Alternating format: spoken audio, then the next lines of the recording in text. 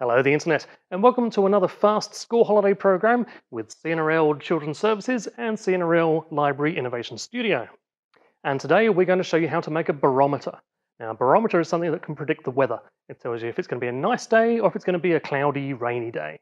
And we're going to build a barometer using jam jar and a balloon, a pair of scissors, elastic band, straw, pens, a piece of paper, a ruler, and a bit of tape.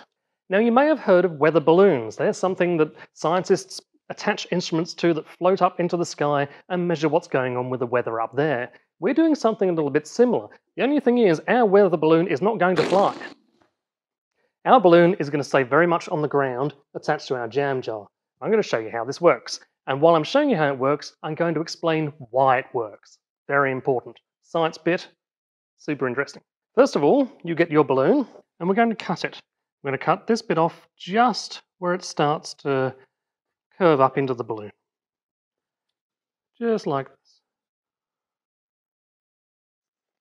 And you get your jam jar and the uh, dome part of the balloon and you stretch it over the top. Like that. It wants to be nice and tight like a drum skin. And to make sure it stays in place, get yourself one of your elastic bands and put it over the top. There we go. You want that nice and tight. You don't really want to see a dimple there. Next up, get your straw and a bit of tape. all you're going to do is tape the straw so it's right in the middle. And just tape it down. There we go. And a bit of tape. There we go. Don't go crazy with the tape. We want this straw to be able to move as the balloon moves, and the balloon is going to move. Now, that's your barometer done, but how are you going to read the readings? That's why you need a piece of paper. So get your piece of paper, fold it in half. It's going to stand up like a card. Just like that. So you can take a meter reading, just like you see in cars and other devices. This is going to be the needle that moves up and down. So next we need to get one of our pens. And just carefully mark where the straw is at the moment. So we know where to start our scale. Then We'll get a ruler and we're going to put some marks about a centimetre apart, little lines so we can see if it rises or falls. There we go. So you'll end up with something that looks a bit like this. Now, we want to draw sunshine at the top and rain down the bottom. Now to explain how and why this works. Our jam jar isn't empty, it's full of air molecules. The air molecules can't get out, and no more air molecules can get in. However, the air outside of the jam jar is free to move around. Now, as the air outside heats up, it rises, and as it cools down, it falls. So as it gets colder, more air molecules fall down, building up all around the outside of the jam jar, putting pressure on the balloon, flattening it down and making it dip in. As the short end of the straw dips in with the balloon, the long end points up on our chart. When the air gets warmer, all those molecules rise up and away, taking pressure off the top of the balloon. And the air molecules inside the jar rise too, pushing the balloon up into a dome. As that happens, the short end of the straw points upwards, the long end of the straw points down on our chart.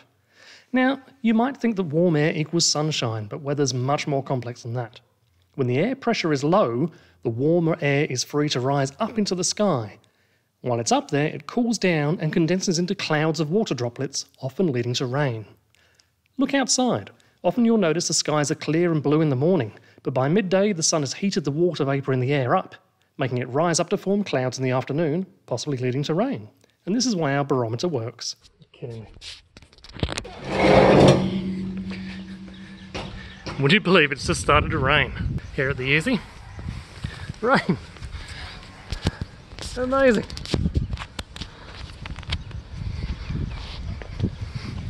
It's raining at the Youthy.